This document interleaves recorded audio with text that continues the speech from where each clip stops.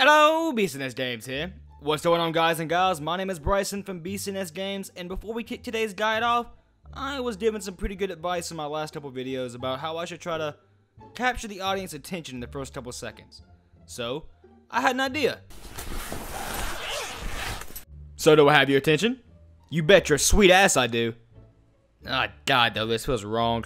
It feels like I'm one of those YouTubers that just put up naked women on the thumbnail for clickbait. Ugh. And the worst part is that it actually works. Ugh, I guess I'm ready for my million subscribers. But whatever. The point of this video is actually to show you guys how to find one of my favorite items in all of Fallout 4.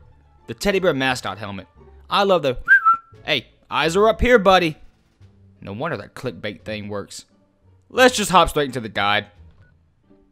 Now, the name of the location you guys are going to look for is somewhere called DB Technical High School.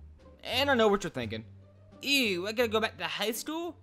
Or for maybe some of you younger viewers, Yay, I get to go to high school? Well, don't worry. You're not going there to attend class. You're going there to kill people. Oh, God. I just made a grimdark joke without realizing it. Yeesh. Now, once you guys actually make it inside of the store, just go ahead and follow my quick little path here. You're going to take your first left and open up the door. After that, you're going to sidestep the shotgun blast. Open up this door. Another right. Get into the main hallway. Take another right.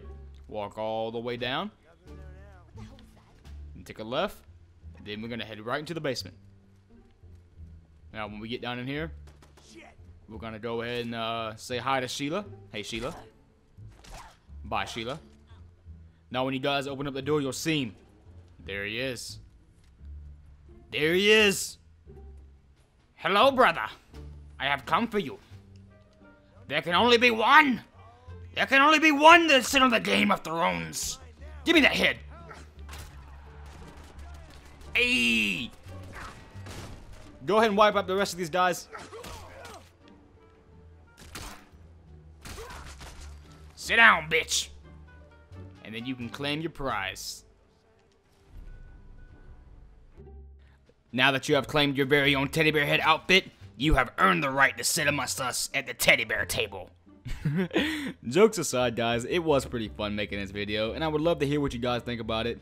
I love making videos in response to people, just helping them out. And also, if you would, guys, go ahead and hit that like button. It does help us out as a group, and at the same time, it helps other people being able to find the videos when they're searching for them on YouTube.